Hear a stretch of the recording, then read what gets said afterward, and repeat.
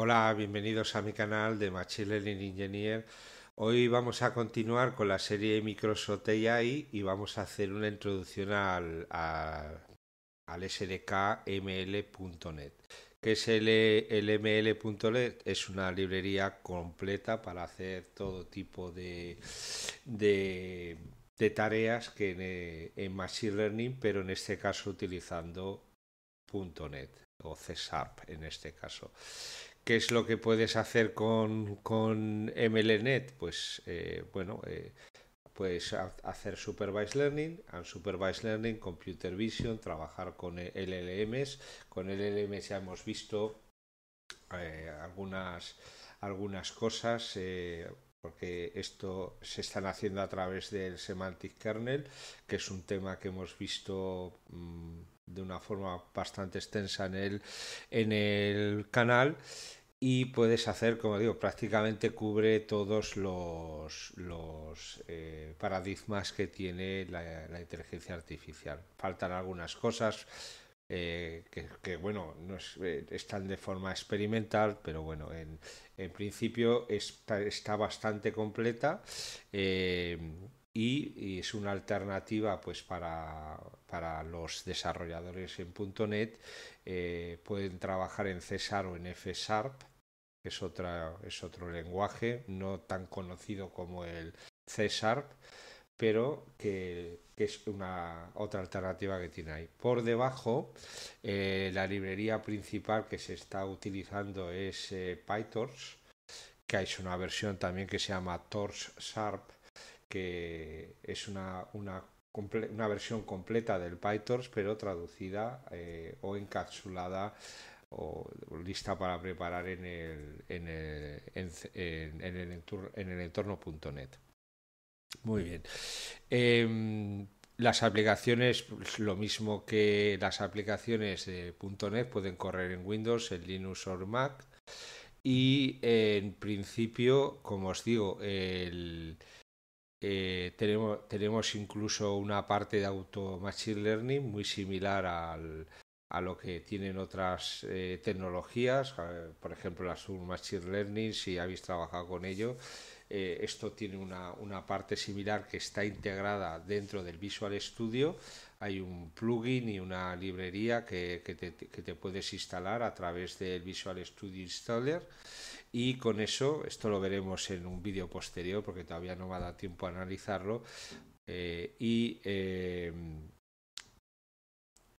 aparte del, del AutoML, pues como os decía, eh, tiene, tiene o, cubre prácticamente todos los casos de usuario en LP, Supervised Learning, Supervised Learning, no he visto Reinforcement Learning, nada de momento, pero y Object Detection, bueno, eh, también como os decía, eh, LLMs a través del de el semantic kernel y bueno pues como os digo es una alternativa muy muy buena para el, hacer eh, aplicaciones con componentes de eh, que tengan IA eh, en .NET como bien sabéis los que seguís el canal yo soy yo de yo desarrollo normalmente en, Python en PySpark y de hecho ahora os voy a lo que veamos y sobre todo aquellos que tenéis, eh, em, ¿cómo se dice?, experiencia en, en, la librería MLLib de Spark, vais a dar, os vais a dar cuenta de muchísimas coincidencias. prácticamente está hecha con la misma filosofía que eh, las pipelines eh, que se utilizan en la librería MLLib. ahora lo veremos, eh, te, he hecho, he reformado uno de los ejemplos que hay en la documentación, luego os pasaré también la documentación y el código, como, como suelo hacer, eh, bueno, eh, como suelo hacer en, todos los vídeos, os lo pondré en el, en el repositorio y un link al canal. ¿Qué más? Aparte, como os decía, por debajo está el, Tensor no, Tors Sharp, que es eh, la versión de TensorFlow en, en .NET, pero también tiene, eh, o sea, se, se, extiende a otras, a otras plataformas como TensorFlow o NNX, que ya hemos trabajado con ella también en algunos vídeos en el canal. Infernet, que, esta no la he visto, nunca he trabajado con ella, práctica, especialmente porque es .NET. Yo en .NET prácticamente eh, me he metido hace unos meses, no, no conozco mucho de, de, la librería, por lo tanto también disculpar si alguna cosa que veáis, no alguna cosa que diga no es completamente de correcta, ¿no? Pero vamos, que tenemos aquí un, una herramienta y sobre todo para todos aquellos que seáis profesionales en, en .NET, esto por, lo, por la, primera impresión que me ha dado es, es, es espectacular, muy bueno eh, y tiene un, tiene un recorrido tremendo. Esto para los que... Eh, como, los que sois suscriptores y los que y los que lleváis eh, los que seguís el canal eh, ya sabéis que, hace unos meses me, me metí por determinados requerimientos del trabajo en, hacer cosas con .NET y, ver cómo podíamos eh, acelerar el, sobre todo la, inferencia y, y, y, el poder utilizar y el poder quitar eh, algunos requerimientos que teníamos con, con Python en, en, donde trabajo, ¿no? Vaya, y eh, son una de las cosas que, que, que, para las que estuve mirando determinadas alternativas y una de ellas era precisamente el encontrar un trabajo de desarrollo, eh, un, un, lenguaje de desarrollo eh, que fuera pues más rápido y mejor tipado eh, que, el, eh, que el Python es cierto que el Python se puede acelerar y mucho, pero bueno, necesita ser un verdadero experto para hacer optimización del código Python. Entonces, como todo el resto de desarrollo se hace en .NET, pues me, fui a ver qué es lo que había ahí, pues por un simple, eh, como se dice, posible transferencia de conocimiento. Eh, a otros, otros componentes del equipo que desarrollan en .NET. Eh, y entonces, pues, eh, fue, fue, la razón de irse a, a, este lenguaje. ¿no? Al final me he encontrado con esto, eh, un poco de casualidad, porque estaba buscando una, una a, a ver si había una versión de PyTorch eh, en, en .NET. Lo he encontrado y después de encontrar el TorchNet, he encontrado esto, que es todavía mucho mejor porque eh, tiene, tiene ya todo preparado pues para hacer eh, eh, introducir componentes o crear modelos, entrenar modelos, evaluar modelos utilizando .NET. ¿no? Bueno, dejo de enrollarme, que me enrollo mucho. Bien, he creado una pequeña, bueno, he modificado uno de los ejemplos porque están preparados para para los tutoriales y todo esto y bueno, en, principio hay que hacerle unas cuantas modificaciones para que te, te funcione el local, pero vaya, al final lo he conseguido. Eh, este código y, lo que, y, todo lo que se necesita para, para ejecutar el, eh, este pequeño ejemplo lo, eh, os lo subiré al repositorio como es habitual y veremos más cosas. ¿no? Este va a ser el inicial, es una aplicación de Sentimental Analysis muy conocida de, eh, con el wiki Detox Annotated, que es un dataset en, en, en TSV. Esto es una de las aplicaciones más, bueno, para hacer sentimental análisis bastante, bastante eh, conocida, vaya. Eh, ¿Qué más? Para el, eh, he, he, creado una aplicación de consola eh, con .NET.8 y eh, he tenido que instalar únicamente este paquete, como veis aquí. Hay muchísimas versiones eh, a través del Nugget, hay un montón de versiones de este paquete, la última que hay en, preview, vamos, ni me, no tendría que haber instalado la preview, pero bueno, eh, la he instalado, la, la, la última que hay disponible en Nugget.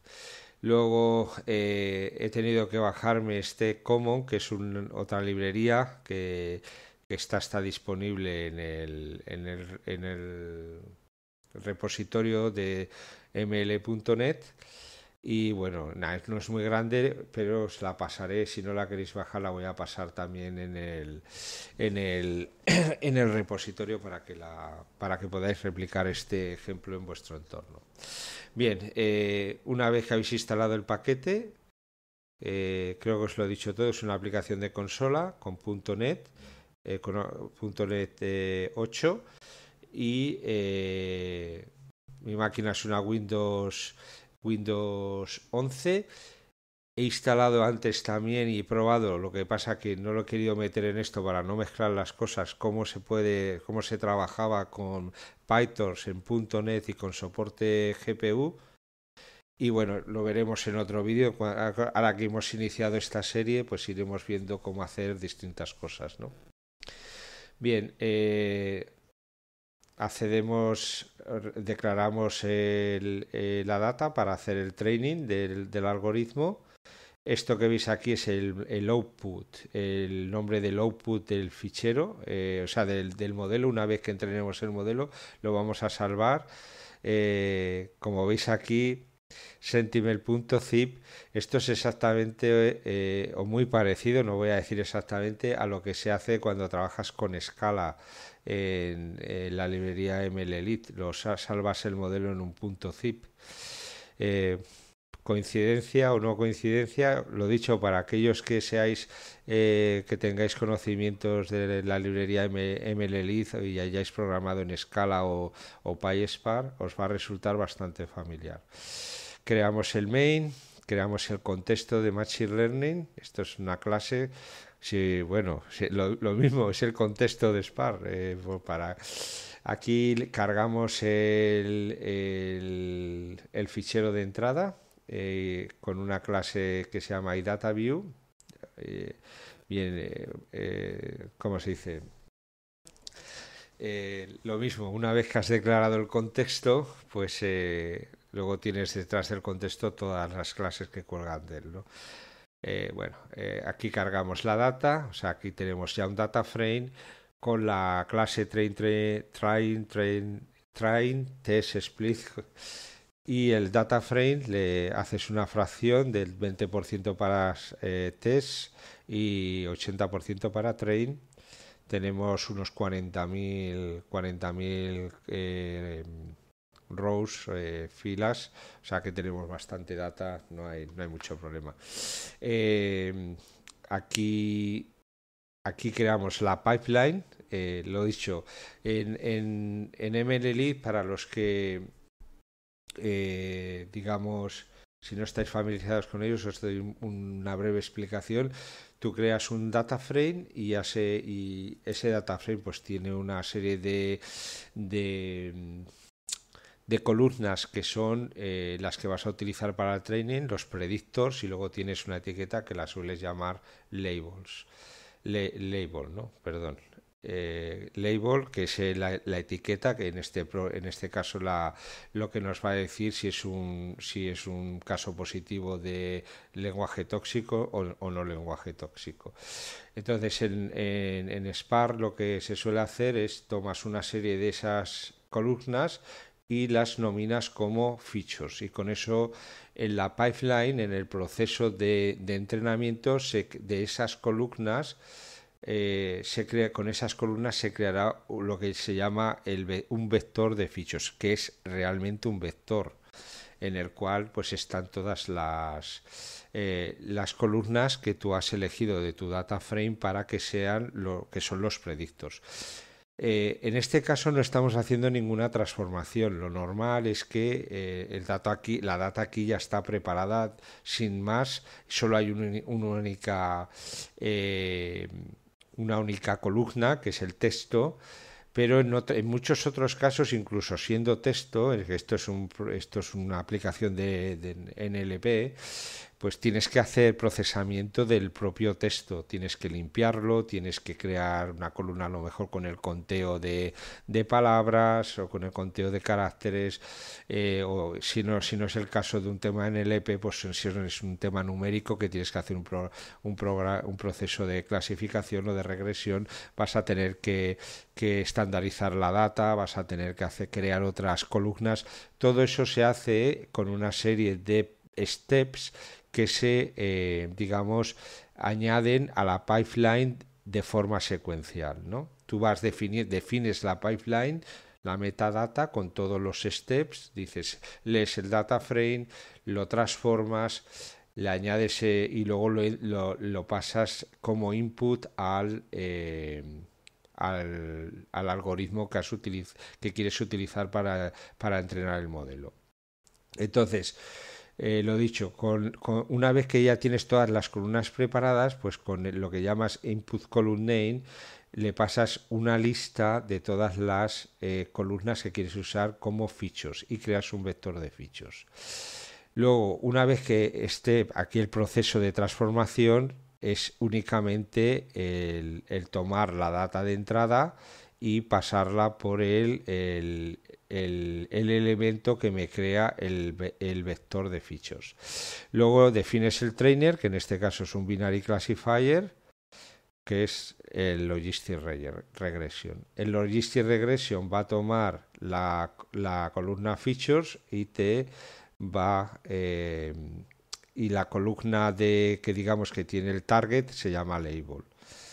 Si no la has cambiado en el, en el ¿cómo se dice? Os digo que este, este data frame ya viene preparado así. Si no se llamara label, pues tendrías que llamarle, darle el nombre alternativo. O sea, no, eso no hay ningún problema. Eh, una vez que has definido el trainer, pues lo añades a la pipeline. Como veis aquí, la pipeline en este momento es el transformador de las columnas de del data frame al vector de features, luego eh, le añades el trainer y una vez que ya tienes todos los pasos de tu, de tu pipeline, que tienen que ser, como os digo, pre-processing eh, y luego training, lo que hacemos es hacer un fitting. Esto es exactamente igual que como se hace en la MLLib le pasas a la pipeline, haces un feed y se lo, eh, ¿cómo se dice? A un feed del, training data. Esto me va a crear eh, una columna que se va a llamar predicciones y como bien sabéis tenemos la etiqueta, la label que son las, las originales y, eh, y esto va a crear, perdón, una vez que has, eh, esto es el fitting y luego una vez que haces aquí el, el, el transform, aquí lo que estamos haciendo es hacer el entrenamiento. Y una vez que haces el, con el mismo, con el trained model, aquí estamos creando el, el modelo, haces un transform con la test data. Y este, este transform con la test data me va a crear una columna que se va a llamar eh, predictions. En el siguiente paso vamos a coger el contexto otra vez con, una eh, métrica y vamos a hacer una evaluación. ¿De qué? Pues de las predicciones que me ha, creado el transform con, su, con, la columna label y crearemos eh, label y crearemos una nueva columna que se llamará score. Y luego vamos a tomar una de las funciones que están en el console helper, en el common, y vamos a imprimir eh, esas métricas. Una vez hecho eso, aquí salvamos el modelo y aquí ya simplemente eh, hacemos un ejemplo de inferencia. Eh, tomamos sentiment, issue, esto es una clase que tenemos definida aquí, esta de aquí. Creamos un nuevo objeto que lo llamamos, es un texto con un con eso podéis probar, cambiar lo que sea y eh, creas una, una prediction engine con el, con el modelo obviamente. El, ¿Qué modelo? El trained model. Y eh, el resultado será pues la prediction engine predict el sample statement, que es el, el objeto del tipo sentiment use. Y luego aquí simplemente eh, lo, lo imprimes. Muy bien, vamos a, ejecutar esto, que es bastante sencillo.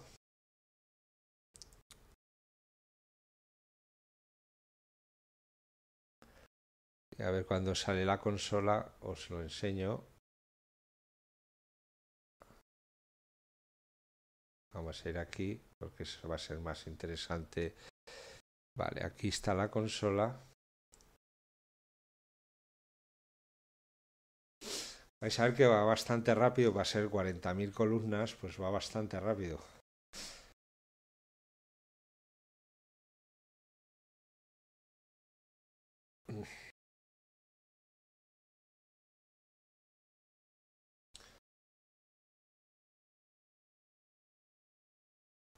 Ahí lo tenemos.